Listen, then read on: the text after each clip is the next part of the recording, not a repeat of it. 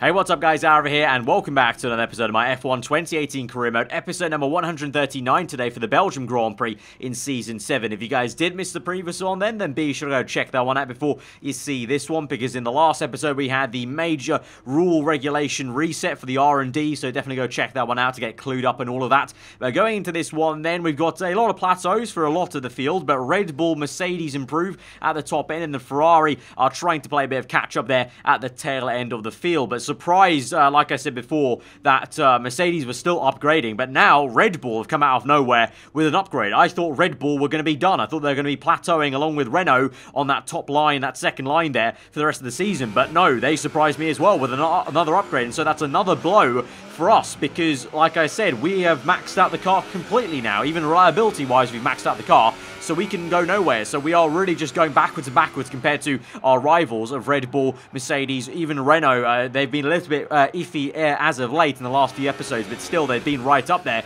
And so uh, it's going to be an interesting one. Last episode, obviously, spoiler alert, was a very good one for us in terms of results. We end up winning the Hungarian Grand Prix, our second win in the team. But uh, obviously, circumstances came into it, and we can't guarantee performance like that, you know, week in, week out, basically, every single race.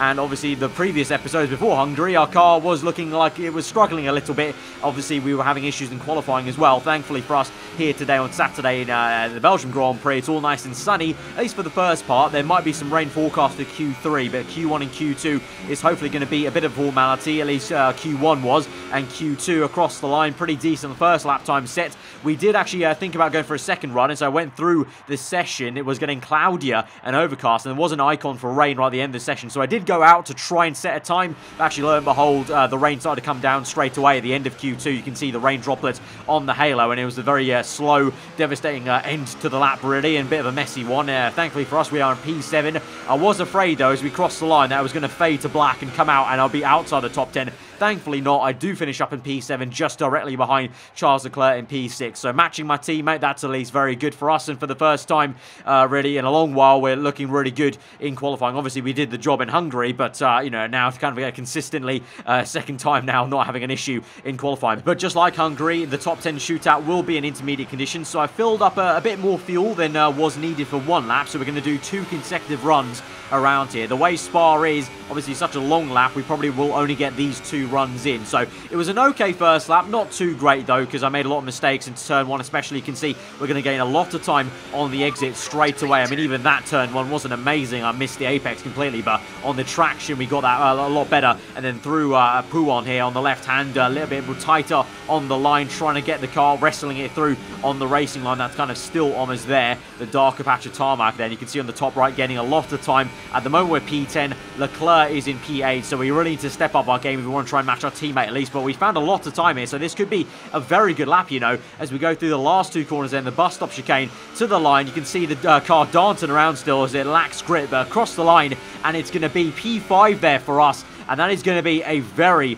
great position. I will thoroughly take that there because I really was uh, fearing the worst, really, after that first lap in P10, and Leclerc in the end finished down in P9, so I will very much take P5 uh, behind both Mercedes and two Red Bull Hondas, uh, two by two there, so clearly the Red Bull and Mercedes cars, both their upgrades are working well this uh, evening. Red Bulls uh, apparently even more so. In the wet, they were definitely faster than the Mercs, uh, not surprisingly, really, because uh, kind of the same scenario as in real life, but P5 for us, very happy with that, so let's go into Spa then. It's going to be an interesting one. It might actually start raining at the very start of the Grand Prix, so we'll have to see. But let's go to the grid then and see how the entire thing shapes up.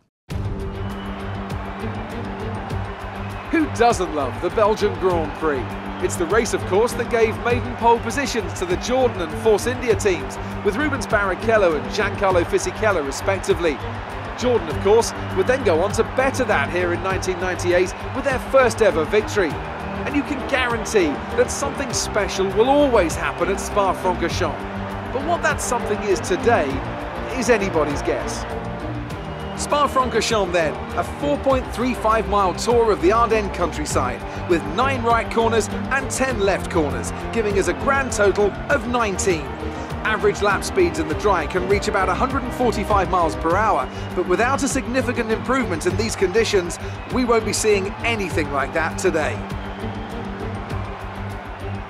With me today, of course, is Anthony Davidson. Let's talk briefly about Charles Leclerc. Looks like they've got a tough race in store today as grid penalties from changing power unit components has forced them further down the field. But on the bright side, at least those fresh components can help them maintain the power they need to come through the pack. I expect to see them take a more aggressive approach today to make up for the compromised start. So let's have a look then at the starting grid ahead of this Belgium Grand Prix for Season 7 of my F1 2018 career mode. On pole position then is going to be Pierre Gasly in the Red Bull Honda. Alongside him is a front row lockout for his teammate there, Max Verstappen, in second place. The second row is all Mercedes of Lewis Hamilton and Nico Hulkenberg, with a third row with occupied by myself and Carlos Sainz. Dan Ricciardo and Esteban Ocon next with the top 10 Alonso and Brendan Hartley. Vandoorne in P11, Sergio Perez P12 with Grosjean and Stroll next, Sirotkin and Bottas on the next row, with Sebastian Vettel alongside Kevin Magnussen for P17 and 18. Charles Leclerc with a massive grid penalty down to P19 from P9, and Kimi Raikkonen to round out the grid for the Belgium Grand Prix. Right, so one, we are indeed starting on intermediates. It's a little bit damp out there, but it's going to get dry soon enough. So the strategy is going to be interesting, but uh, really at this point, I don't know what it's going to look like because I don't know how many laps, honestly, we're going to be able to uh, stay on the intermediates. We're going to have to kind of uh, cross that bridge once we get to it. But two as well, it's going to be a bit of a lonely fight today with Leclerc having a massive engine penalty of 10 places from P9 down to P19. So that might be a bit, bit of a blow to a constructors fight with Renault and Red Bull and even Mercedes, but we're going to have to make the most of it then then as we get prepared then for the five red lights to the Belgium Grand Prix here at Spa-Francorchamps.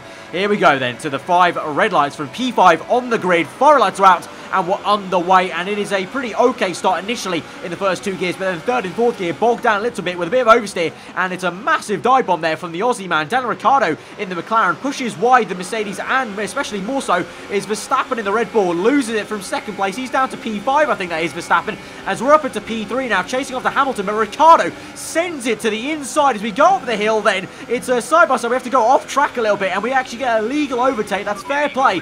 We had to take evasive action there. It was either spin off the circuit or taking over the curbing and cutting the corner slightly. So Ricciardo gets that position back, but Verstappen very opportunistic here and forces his way through. We lock up on the front tyres and Verstappen manages to dance his way past around the outside and he's up into P4 now as uh, we're back down to our grid slot of P5 but at least we're ahead of the other Mercedes car. I think that is of Nico Hulkenberg, who's now behind Carlos Sainz and Vandoorne as the Spaniard and uh, Belgian man fight away. The home favourite, actually, Vandoorne there in the Toro Rosso, so he'll want to, want to try and get ahead of that Renault, and he actually has done, actually. That Toro Rosso, pretty damn good. And like I said, the two Renaults, as of late, despite being still third best car on the grid on paper, they've really not been turning up so far, even you know, both Sainz and Alonso in the last two episodes especially.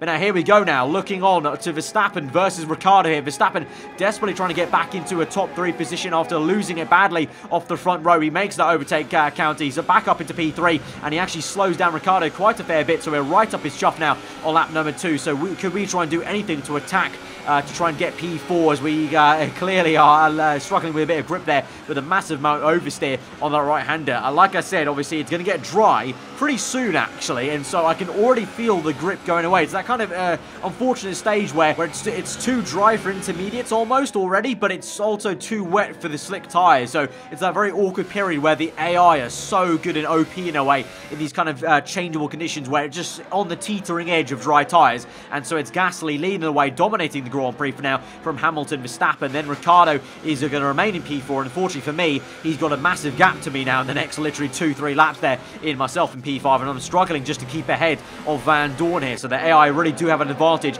at this stage. Meanwhile, uh, we mentioned Leclerc, who's down in P19. He's actually made a pretty good recovery already. I think he's around P12 or P11, just outside the top 10. He's made a very good drive so far. And so he's looking like uh, likely to maybe get some points by the end of this race. So at least that's one good uh, bit of news for us as a team. But on lap four, I am really struggling in these conditions. You can see Ricciardo on the minimap has gone so much further away. And now the DRS enabled. And so that is the sign we are going to come in for the dry tyres here. As soon as the DRS enabled, that is when you know it's time for slicks. But I was pretty much praying for slicks right now because I could not go one lap longer on those conditions. Otherwise, I would have probably lost the uh, lost the place to Vandoorne because the AI were just so good in those uh, conditions. I just I was just horrendous basically. I could have put my hands up. I can't really make any other excuse for it. I was just uh, really bad on the entry, exit, and the traction of it. So thankfully, we are going to go onto dry tyres. We're going to opt for the soft tyres. Now, I wasn't sure what the strategy was going to be like. I assumed, you know, I just kind of trusted my team basically to go onto soft tyres. We've got a few people ahead of us on super softs, the likes of Verstappen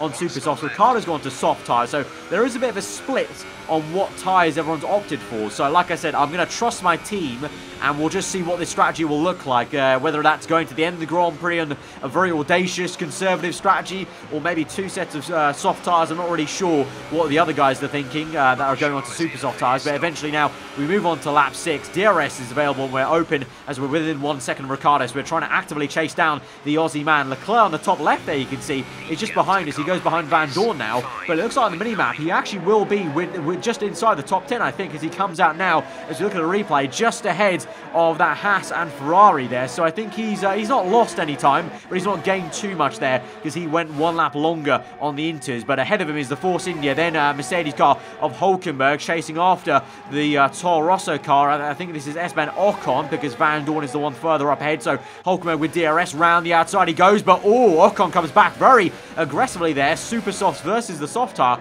but the Toro Rosso's got the pace so far to stay ahead of that Merc. Then is myself chasing after Dan Ricciardo. It's actually my bad. That's not Ocon there. That's got to be Vandoorne because Vandoorne was behind me on the top left ladder, and so I couldn't quite tell the number from uh, this perspective. Obviously, the uh, kind of overcast conditions make uh, the lighting a little bit difficult to see those numbers there. So it was Vandoorne then defending against Hulkenberg very successfully. Then as we move back to our POV on lap nine, we've got DRS available, so we're still within one second of Ricciardo. And obviously, as we go through this Grand Prix now, the track is going to warm up. I'm going to warm up in terms of getting into the rhythm, but obviously also the guys around us are. Whereas uh, at the moment, though, to be fair, Ricciardo is not because he clearly made a mistake there with that right-hander. So I think we've got him on the ropes a little bit. It might just be a matter of uh, time and patience uh, before we overtake him because obviously on paper we should have the faster car here, but he's doing the job, Ricciardo, fighting as hard as he can. But here we go now, swinging through to the inside of Blanchimont towards the bus stop chicane. On the outside, this will be, will he lock up quite badly though on the front left, and Ricciardo is there for the switchback move. We go a little bit deep and wide there on that run. Don't get the best exit, and so Ricciardo has a very good run. That McLaren is very good on acceleration. We squeeze him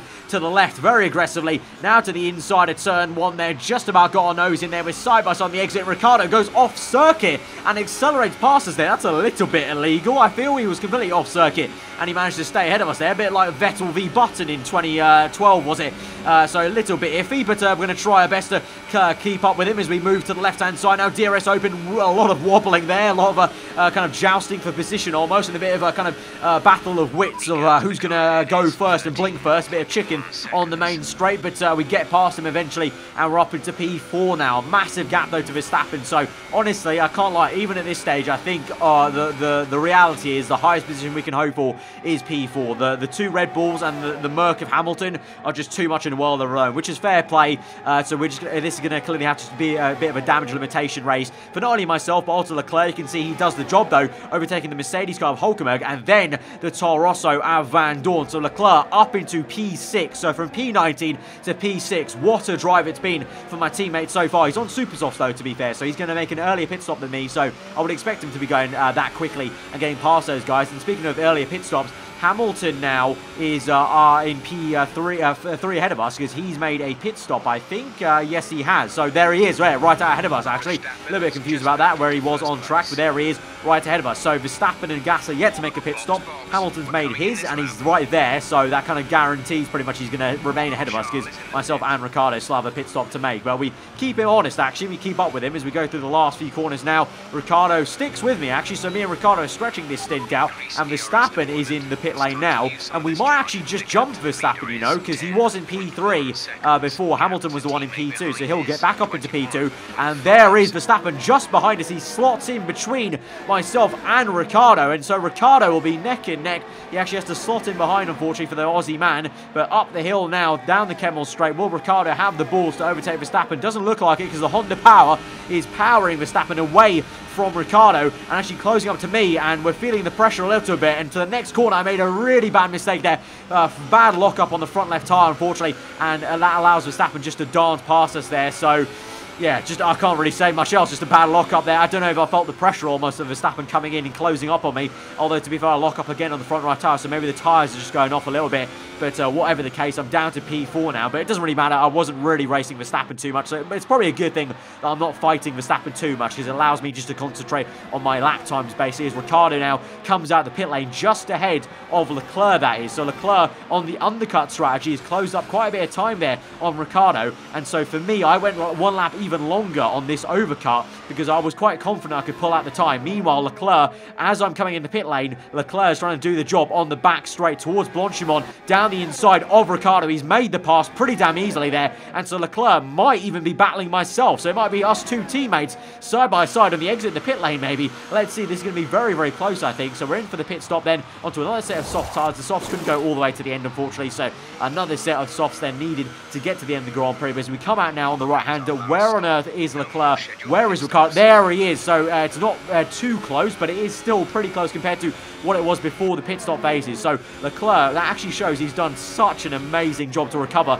from uh, 10 places back from where he was, and that was already four places down from where I was, uh, P9 to P5. Meanwhile, Verstappen still in the world of his own in P3, trying to close up on Hamilton for P2, trying to desperately make this a 1-2 for Red Bull once again like it was in qualifying, and Gasly in a world of his own dominating this Belgium Grand Prix, so he's probably well on his way to probably taking back the lead in the Drivers' Championship, unfortunately for myself. And with Gasly probably likely to win this Grand Prix, it's very crucial I get the maximum position I can of P4 here. The Leclerc is coming like an absolute steamroller here, and so at this moment in time, if this was real life, I'd be calling multi 1-2 at this stage because, you know, he's nowhere near us in the championship. He's nowhere near the top of the standings. I'm the one in the championship fight, but he's coming at me, and I need this P4 to try and limit the damage here. And at this stage, halfway through the season, you would kind of suggest, you know, at that stage, you kind of, you know, go, okay, you know, okay, fella, you're second place in the, in the standings. You're nowhere near your teammate there. You're not the one in the championship. But don't fight your teammate. But obviously, being a game, I can't call multi 1-2, even though I want to. And so we have to fight very hard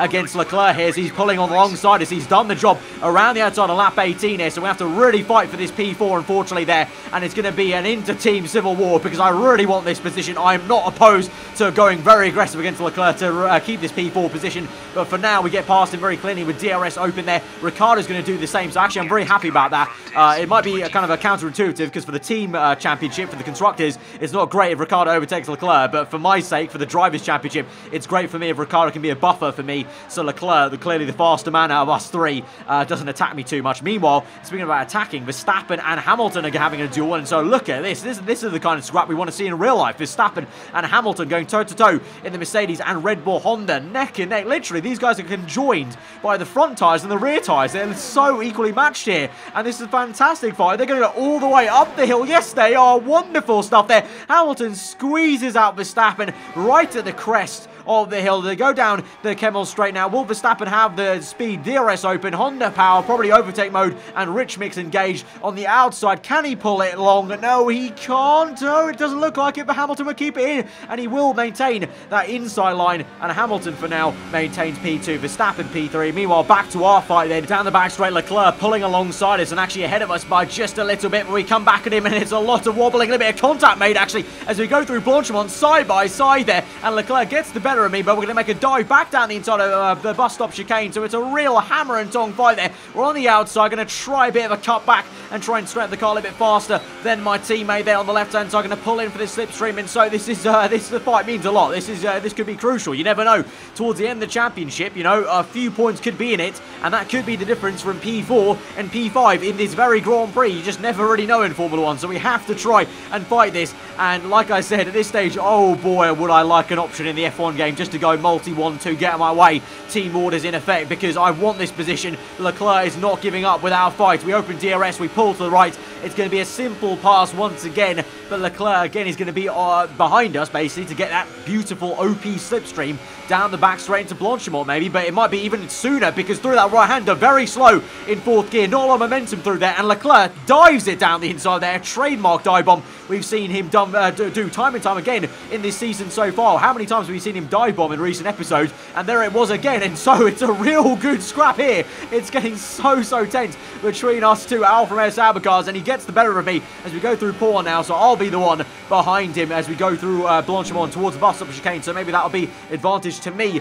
perhaps. We'll have to see, but meanwhile, we go back to this fight between Hamilton and Verstappen, so Verstappen now is uh, actually the one ahead, so he missed when uh, Verstappen actually finished the overtake uh, to do that, but Hamilton comes back at him now, side by side towards turn one, Hamilton back into P2 just narrowly, but Verstappen keeps his nose in there, and crucially, mid-apex, actually gets fully alongside him there, so that Red Bull has some really good mid-apex speed, but Hamilton just has the engine power, I feel, on the back end, but up the hill now, who's going to who's going to blink first, basically? Is it going to be Hamilton or Verstappen? And this time, it's going to be Hamilton, and Verstappen gets ahead. Now, who's going to have the run? It's a drag race down the Kemmel Straight. Hamilton with the advantage of slipstream, but Verstappen, crucially, has DRS, actually, so he maintains that position, goes defensive, and he is going to keep that 1-2 for Red Bull Honda, it would seem, as we now move back to our PV, lap 21, the second last lap of the Grand Prix. We're still in P5. We've not overtaken Leclerc quite yet, but now, as we go up the hill through uh, Rouge, up the hill to the Kemmel Straight, can we try and do this now in a straight line? This should be pretty simple with uh, DRS,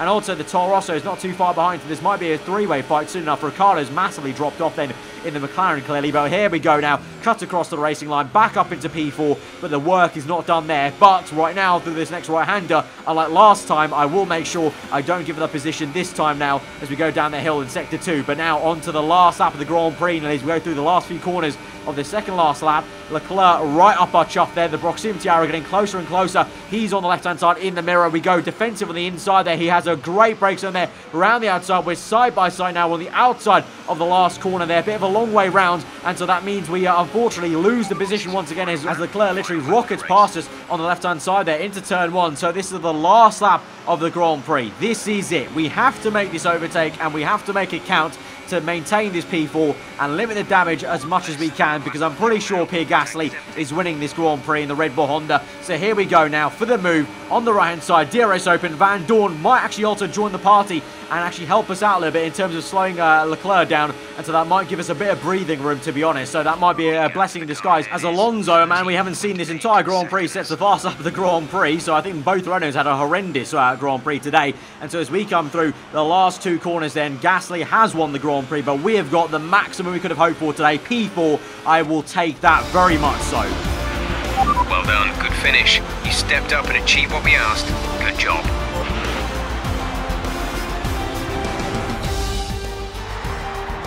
A great win then for the Red Bull team today. Tell me, Ant, what was the key to this success? I think a large part of the result comes down to temperament. They were able to keep their heads when everyone around them was losing theirs, and that's allowed them to get the best out of the car, to maximise the strategy, and to stay out of trouble. So like I said, Pierre Gasly did end up winning the Grand Prix, a 1-2 for Red Bull Honda. They looked really strong out there with the upgrades uh, for this uh, race weekend, with Hamilton third place, so P4 really was the maximum, maximum I could have hoped for there. So, uh, very much damage limitation race for us. And uh, they got a little bit frosty with Leclerc at times there. But like I said, needs must. He's nowhere near the top of the championship. So, if this was real life, I feel like multi 1-2 would have been called there. Or some kind of just message to say, take it easy because you're not the one in the championship fight.